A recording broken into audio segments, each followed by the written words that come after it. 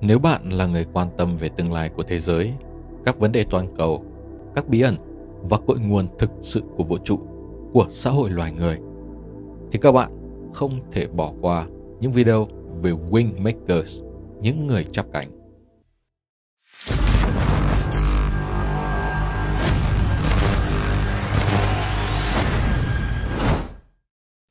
Không phải tự nhiên mà tôi lại tuyên bố như vậy.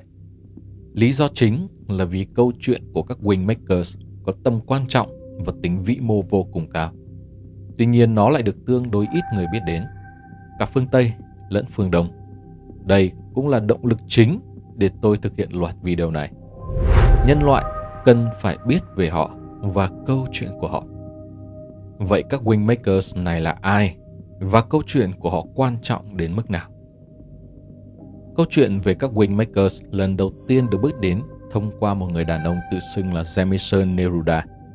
Ông là người Bolivia, một quốc gia ở Nam Mỹ, và là một chuyên gia ngôn ngữ học với học vị tiến sĩ.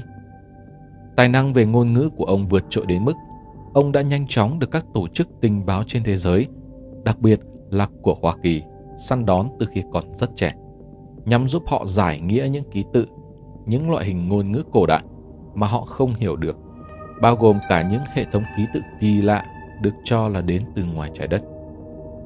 Cũng chính vì bản chất đặc thù của công việc, nên tiến sĩ Neruda đã có cơ hội được tiếp xúc với những thông tin tối mật vô cùng quan trọng liên quan đến sự sống ngoài hành tinh và tương lai của nhân loại. Tổ chức ACIO và cuộc đào tàu của tiến sĩ Neruda Được biết, tiến sĩ Neruda làm việc cho một tổ chức bí mật gọi là ACIO, Advanced Contact Intelligence Organization, tạm dịch là Tổ chức Tình báo và Liên lạc ngoài hành tinh. Tổ chức này vốn là một tổ chức nghiên cứu khoa học, nơi quy tụ của các nhà khoa học xuất chúng nhất toàn địa cầu. Họ chính là nhóm khoa học gia mũi nhọn, tiên phong nghiên cứu và phát minh ra các loại hình công nghệ, kỹ thuật quân sự và sau đó được đơn giản hóa và ứng dụng cho các lĩnh vực dân sự. Những công nghệ này bao gồm điện thoại di động, linh kiện bán dẫn, các phiên bản sơ khởi của Internet và máy tính lượng tử, cùng nhiều loại hình công nghệ khác. Hầu hết đều là những thiết bị kỹ thuật vô cùng quen thuộc với chúng ta hiện nay, nhưng chúng thực chất đều đến từ tổ chức nghiên cứu khoa học bí mật này. Điều giật gân hơn nữa là, ông Neruda cho biết, sở dĩ tổ chức của ông có thể tiên phong phát minh ra những loại hình công nghệ cao này là bởi vì họ nhận được sự hỗ trợ rất lớn từ người ngoài hành tinh. Với bản chất bí mật vốn có, nên các thông tin xoay quanh tổ chức ACIO gần như không thể tìm thấy được trên Internet, cho dù bạn sử dụng Google Chrome hay Tor. Phong cách hoạt động của tổ chức này cũng tương tự với phong cách hoạt động của các hội kiến trên thế giới như Illuminati, Freemasons và đặc biệt là hội Incunabula. Ông Neruda cho biết vì tổ chức của ông nắm giữ rất nhiều bí mật về nguồn cội của thế giới và người ngoài hành tinh, nhưng lại không muốn chia sẻ những thông tin này đến với công chúng, nên ông đã cảm thấy ông cần phải trở thành người thực hiện việc đó. Thế là, với trí thông minh của một thiên tài, ông đã từng bước sắp xếp và thực hiện kế hoạch đào tẩu của mình khỏi tổ chức này. Sau khi trốn thoát thành công, ông đã thuê một nhà báo tên là Sarah và nhờ cô ấy ghi âm lại bài phỏng vấn với ông và đăng tải lên Internet nhằm đưa những thông tin này đến với đông đảo quần chúng. Trong bài phỏng vấn của mình, ông Neruda đã chia sẻ một trong những nguyên nhân chính chủ yếu tạo tiền đề cho sự hình thành của các tổ chức bí mật như ACIO và Incunabola chính là những vấn đề liên quan đến sự sống còn của nhân loại trong tương lai.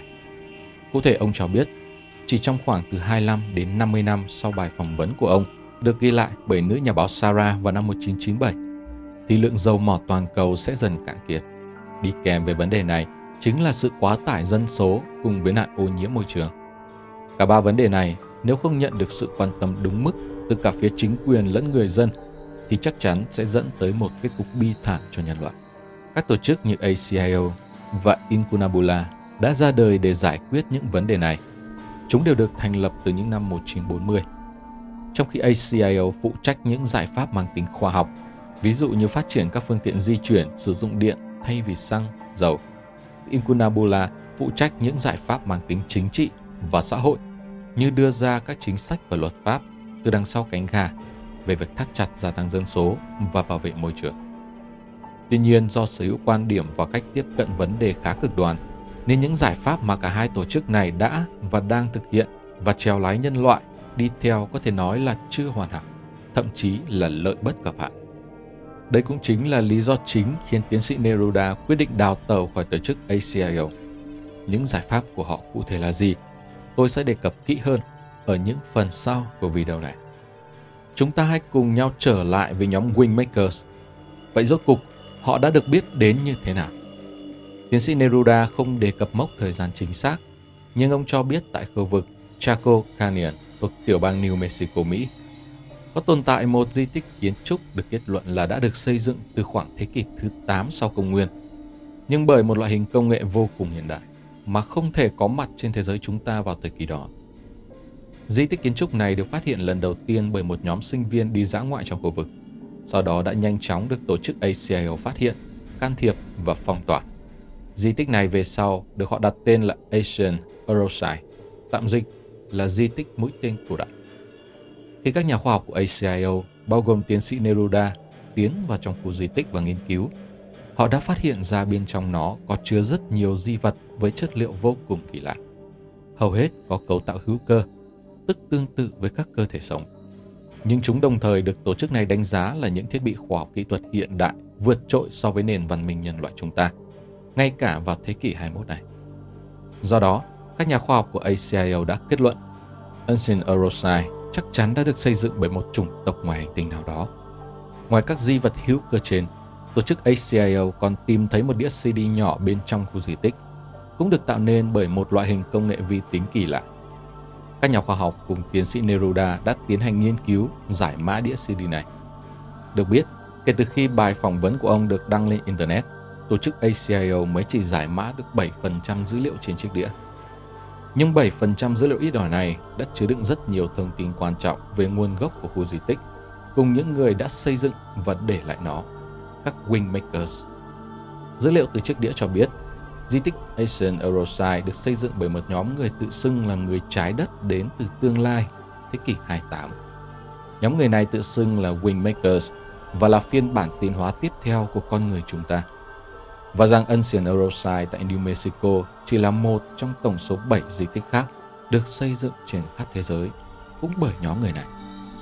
Được biết, nếu như con người chúng ta hiện nay chỉ sở hữu năm giác quan và chỉ sống được trong phạm vi giới hạn của không gian ba chiều, thì các Wingmakers sở hữu 7 giác quan và có thể di chuyển tự do giữa không gian ba chiều và các chiều không gian cao hơn. Chiếc CD cũng tiết lộ sự khác biệt này giữa con người hiện đại và các Wingmakers đến từ một đột biến nào đó trong DNA của chúng ta. Sự đột biến này sẽ diễn ra vào một thời điểm nào đó trong tương lai và có thể có liên quan ít nhiều đến các luân xa và con mắt thứ ba ẩn tàng trên cơ thể con người. Và mục đích chính khiến các Wingmakers phải xuyên không về quá khứ để xây dựng bảy di tích này. Theo chiếc CD là họ muốn cảnh báo nhân loại về những thảm họa sẽ xảy ra trên thế giới trong tương lai nhằm tạo điều kiện cho chúng ta chuẩn bị trước và tránh khỏi các thảm họa đó. Ngoài những lời cảnh báo, chiếc CD từ nhóm Wingmakers cũng như quá trình làm việc chung với một chủng tộc ngoài hành tinh gọi là Kethium cùng với chủng tộc Grace từ những năm 1950 đã mang lại cho các nhà khoa học tại ACL rất nhiều những kiến thức mới về vũ trụ và bản chất của thế giới mà con người chúng ta đến tận bây giờ vẫn chưa thể hiểu được một cách chính xác và trọn vẹn. Vậy những lời cảnh báo và kiến thức mới này là gì? Chúng khác biệt thế nào so với những hiểu biết hiện tại của chúng ta về vũ trụ? Mời các bạn hãy cùng tìm hiểu qua những phần tiếp theo.